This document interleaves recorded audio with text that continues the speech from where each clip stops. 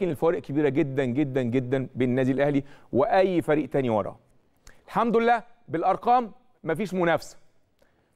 وقيس على كده بقى كل البطولات. طبعا معانا آه، كواليس اللعيبة في الفندق قبل المباراة. معانا رأفت خليل معانا بعض ال- اللعيبة الناشئين اللي هيشاركوا النهارده بإذن الله رب العالمين.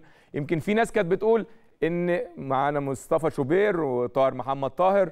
طبعا حتى المباراة اللي هي أصلا ورامي ربيعة اللي هي أصلا زي ما بنقول إحنا إيه تحصيل حاصل. إنما بالنسبة للعيبة مش تحصيل حاصل. بالنسبة للجهاز الفني مش تحصيل حاصل لأن النادي الأهلي بيلعب كل مباراة عشان يفوز. ولكن ولكن اللي عايز أقوله إن أنت أو إحنا واخدين البطولة النادي الأهلي واخد البطولة من خمس مباريات أو من خمس جولات.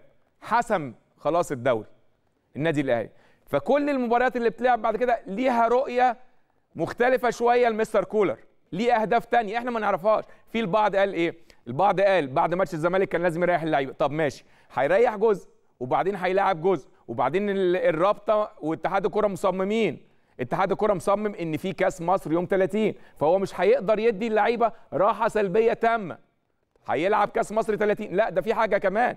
إن أنت بعد إن شاء الله بإذن الله بعد يوم 30 لما نعدي ماتش الداخلية لا عندك ماتش كمان يوم 3 أغسطس. كل ده ورا بعض. أنا أنا لو مدرب هقعد أفكر 100 مرة هعمل إيه؟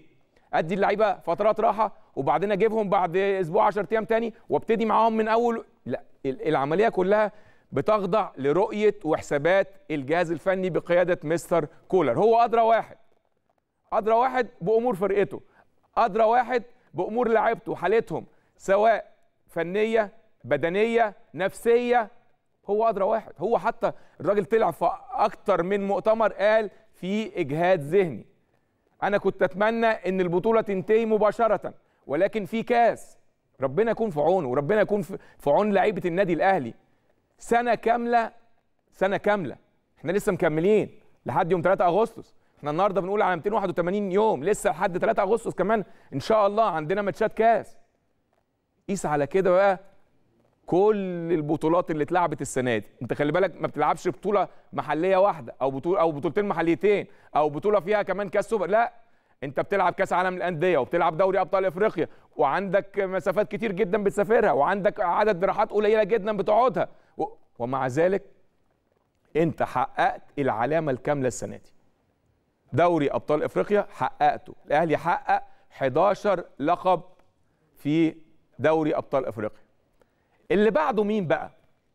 اللي بعده نادي الزمالك ومازيمبي الكونغولي. خمس ألقاب. خمس ألقاب. تخيلوا حضراتكم الفوارق. لو جينا لبقية بس أنا بقى أنا بتكلم بقول كده ليه؟ عشان هروح لموضوع مرتبط بالأرقام دي.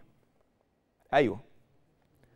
الموضوع طالما مرتبط بأرقام مش هتعرف تنافسني. مش هتعرف تنافسني جوه المستطيل الأخضر أو جوه الملعب. ليه؟ لأنك خسران بالثلث. أنا بكسب بالثلاثة وبكسب بالأربعة وأرقامي كلها قياسية. أرقامي كلها قياسية بالنسبة لمين؟ لجميع الأندية. وبالنسبة لما بنتكلم بقى بنتكلم على اللي اللي بيالينا اللي في المركز الثاني. فبالتالي مفيش منافسة. بالأرقام مفيش منافسة. إحنا كنادي أهلي بنحترم بقول لحضراتكم كل الأندية. لكن لما يبقى فيه نادي يقول لك أنا منافس النادي الأهلي يبقى يبقى الوضع الطبيعي إيه؟ أنت تاخد مثلا 43 بطولة دوري يبقى اللي بعدك مثلا لو هو بينافسك هنقول مثلا 30 مش 14 مش 14 طيب لما نتكلم على دوري أبطال إفريقيا أنا منافس للنادي الأهلي. النادي الأهلي واخده 11 مرة. يبقى أنت اللي بعده يبقى واخده إيه؟ 10 9 8 7 إنما خمسة. يعني أنت مش منافس. الفوارق كبيرة جدا جدا جدا بين النادي الأهلي واللي بعده. النادي الأهلي بينافس مين؟ تعال قول لي النادي الأهلي بينافس مين؟ بينافس نفسه. النادي الأهلي بينافس نفسه. ده إحنا زعلانين الماتش اللي فات عشان بنقول إحنا عايزين نحقق أرقام قياسية. بعد ما كسبنا البطولات عايزين نحقق أرقام قياسية. النادي الأهلي بيحاول يكسر أرقامه القياسية. يعني أنا بعمل الرقم وتاني عايز أكسر الرقم دوت. بتكلم على بطل ياخد بطولة وعايز يحقق رقم قياسي في البطولة دي عشان كده بنزعل مع إن إحنا واخدين البطولة.